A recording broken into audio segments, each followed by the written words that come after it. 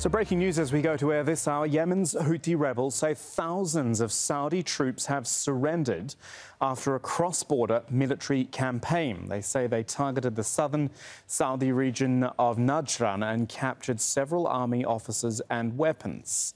Of course, the Saudi UAE coalition in Yemen has been fighting the Houthis for more than four years now.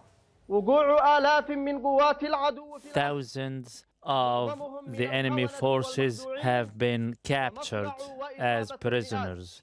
Others were killed. From among the prisoners is a large number of high ranking officers and soldiers from the Saudi citizenship. More than 72 hours from the launch of the operation, our forces laid a total siege to the enemy forces.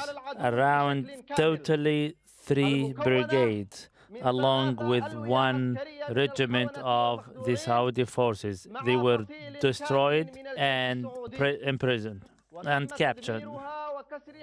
On the line now, Mohammed Al Atab, uh, who's joining us on the line uh, from Sana'a. Mohammed, this is a very big claim the Houthis are making. Is there any more information? Yes, uh, this uh, kind of wide-scale operations that have been uh, revealed by the Houthis military spokesperson, uh, he considered it uh, one of the biggest uh, operations, ground operation, and deep into Saudi territories.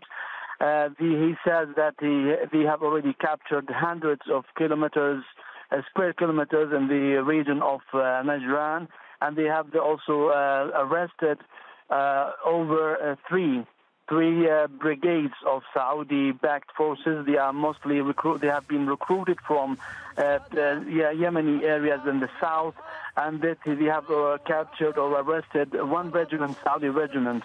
Uh, so there, there are senior uh, um, Saudi officers uh, among those who have been captured, and also that they have already confiscated um, military armored vehicles and